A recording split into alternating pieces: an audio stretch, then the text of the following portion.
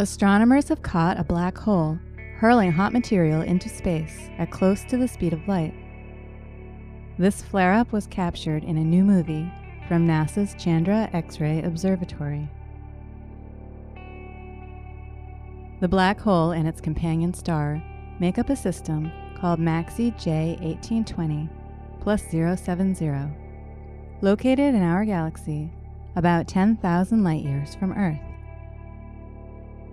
The black hole in MAXI J 1820 plus 070 has a mass about eight times that of the Sun. This makes it a so called stellar mass black hole, formed by the destruction of a massive star. The companion star orbiting the black hole has about half the mass of the Sun.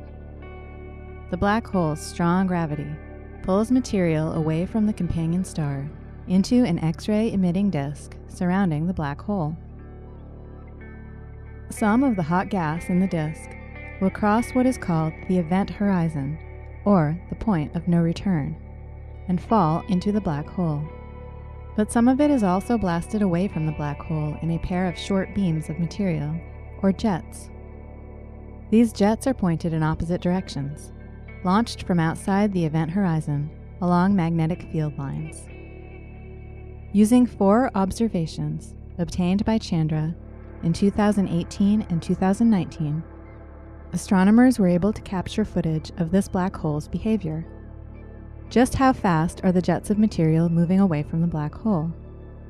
From Earth's perspective, it looks as if the northern jet is moving at 60% the speed of light, while the southern one is traveling at an impossible sounding 160% of light speed.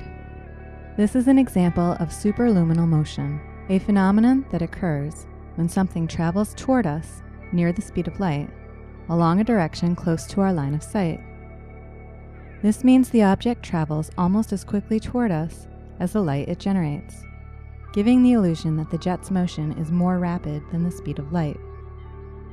In the case of MAXI J 1820 plus 070, the southern jet is pointing toward us and the northern jet is pointing away from us so the southern jet appears to be moving faster than the northern one. The actual velocity of the particles in both jets is greater than 80% of the speed of light, which is, amazingly, about 500 million miles per hour.